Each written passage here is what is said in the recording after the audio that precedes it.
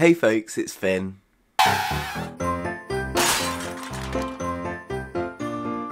Today I wanted to do a information, support and advice video as part of the Vlogmas series that is Christmas themed. And for those of you who know, I'm in recovery. I'm an alcoholic, an addict. I'm seven years clean and sober. And I thought it might be helpful to talk about coping at Christmas when you're in recovery because it is not an easy time to cope with. Even now, at seven years clean and sober, I still find it quite tough. It's not really tough anymore at this stage because I want a drink. It's more tough at this stage because you've got to be so vigilant because everything has alcohol in it. And people seem to just negate the fact that it's alcohol at Christmas. You know, it's just like, oh, it's just a bit of whiskey because it's Christmas, it's fine. So you've got to be so careful when you're eating food and drinking anything.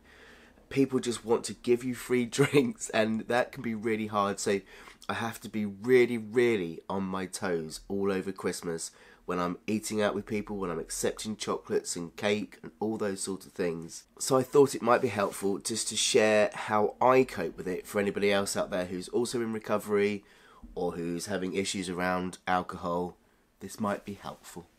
Christmas is a time when there are loads of parties going on and you're invited to all of them. And when you're a person in recovery, they can be more of a pain in the neck than fun, to be honest. They can be quite hard. If you've got understanding friends in your life, it's not too bad. The biggest issue I think people have is like, well, what do I do when I go to a party? Then what do I take if I can't, you know, I can't take wine? I don't want to just rock up empty-handed. Well, there are lots of other things you can take that will also help you. For example, taking things like after dinner mints, taking mince pies that you know are alcohol free, taking a Christmas pudding that you know is alcohol free. They are great things to turn up with that you've contributed to rather than a bottle of wine. And they also double up as if the puddings are a little bit dodgy and you're not quite sure, then you know you've brought something that you can definitely eat when I go to parties in people's houses, I do also find it quite helpful to take my own drink because I'm not a great fan of the soft drinks like Coke and lemonade and all of that. I drink them sometimes, but I don't like them a lot. I'm quite sugar sensitive, and the last thing I want to do is just be loaded up on sugar. So I'll quite often take myself a bottle of fizzy water because it's something I really enjoy. You can get some really nice cordials as well. I use a cordial called Bottle Green and they do loads of different varieties. I love their elderflower version. They do both a cordial and a pre-mixed one and they're really nice to take to people's houses as well. They even do a winter spiced one and actually if you mix that with hot water you've made your very own mulled wine and it's really quite nice.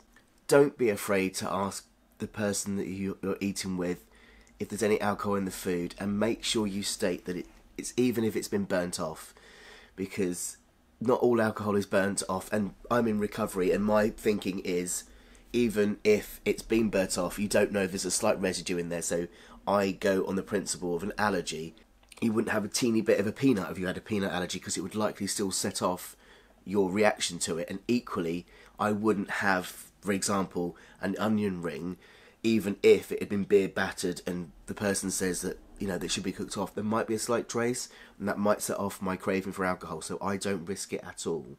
It can feel quite difficult to ask people, and this is where it can be useful to have excuses. Then, I mean, if the people you don't know very well, it can be helpful to say something like, "I'm on an antibiotic that is really, really sensitive to alcohol." And if I have any, even if it is kind of cooked in, it can set off a real awful sickness virus. And if people know that, they're then very sensitive. Of course, if you wanted to say, look, I'm in recovery, then that's fine too, but a lot of people don't want to be that open, and that's fine. I know it's embarrassing, but at the end of the day, it's better to be a little bit embarrassed asking about alcohol in food than getting drunk and making an idiot of yourself and embarrassing yourself even more. I had this in early days at my first Christmas. I'd gone to a party and I'd asked everybody, but there was alcohol in it because people had brought stuff, and people were saying, no, no, no, it's all fine. And I'm tucking into a chocolate dessert, and I was like, I'm not sure about this. And I just said, can I just double check, is there any alcohol in there? Like, oh yeah, it's just a bit of Bailey's at the bottom. Like Bailey's suddenly didn't count, you know, so you do have to be so very careful. I always want to be able to socialise with my friends, but I do find pubs quite difficult if it's just a general sit down comfortable meal that's nice but like on a friday and saturday night when people are really in the festive spirit and they're really drunk and really loud, I can find that too much.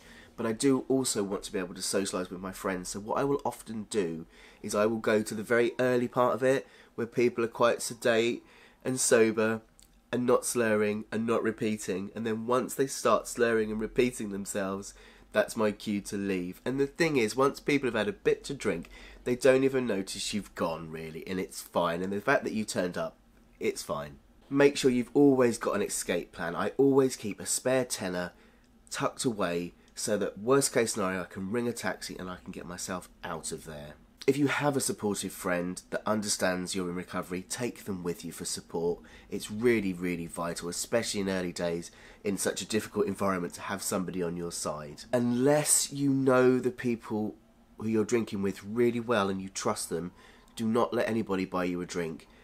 A lot of people who don't know that you're in recovery might just be thinking they're being nice. I'll just make their drink a little bit festive, put a little shot of whiskey in it, and before you know it, you've had a Coke with a shot of whiskey on the side. So always go to the bar with people, always watch what you're given unless you really know the person very well who's ordering for you. Also, know what you're going to drink before you go out. Make a decision about what you're going to drink. There is nothing worse than being stood at a bar with loads of alcohol behind it and very few soft, soft options showing, and then making a choice. So always decide before you go out. I know that I'm always going to have lime and soda if they've got really nice cordials like elderflower presse and that, I will choose that.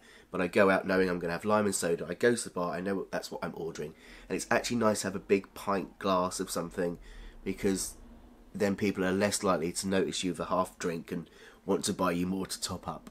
If you have supportive people or if you're in a recovery program, make sure you put those friends' numbers on speed dial on your phone. If you have a sponsor, if you're in Alcoholics Anonymous like I am, put your sponsor on speed dial so that at any given moment, if it's all feeling too much, you can press that number. Get yourself outside, ring somebody, get out.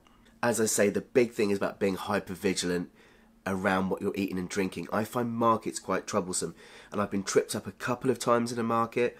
I bought what I thought was a mocha, a hot chocolate with coffee in it, at a stall, and the chap said something to me as he was putting the lid on it, and I didn't hear what he said. Anyway, we walked off, and we I was just about to take a drink, and my friend said, "Stop! Don't drink that. Can I just have a smell of your drink?" And he'd put a shot of brandy in it. What the chap had said was, "I've just made it a bit festive for you." How appalling is that? I mean, he didn't even know if I was allergic to it. It's awful, so you have to be so, so careful. Equally, with the people walking around with trays of food, it's best just to avoid it because it's likely to have something alcohol related in it.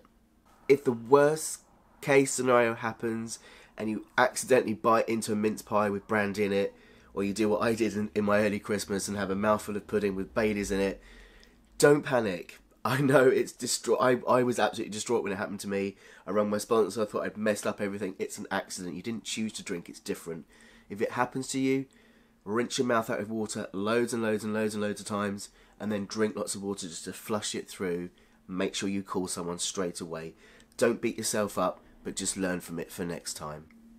Early Christmases when you're not drinking are so, so very hard, so it's really, really important to get yourself into a recovery program with some support I have got clean and sober with Alcoholics Anonymous, and I will always recommend that route. I do recognise that there's different routes for different people, so it's finding out what works for you. But what I love about Alcoholics Anonymous is the support 24 7, all year round. There is always an AA meeting somewhere in your area, and on Christmas Day, I can guarantee it, you will find an all day Christmas meeting somewhere near you. Everywhere I've ever lived, there's been one near to me, so that if I'm struggling on Christmas Day, I can go to one because it is really, really hard, especially in these early days, to sit at Christmas and watch everyone around you drinking when suddenly rules about drinking don't apply. You can wake up in the morning and have a shot of whiskey straight away, and no one cares because it's Christmas. So it can be really hard for someone in recovery to cope with that. I always used to get up. My first drink on a Christmas morning was a Bailey's. It was breakfast. It was fine. It was Christmas.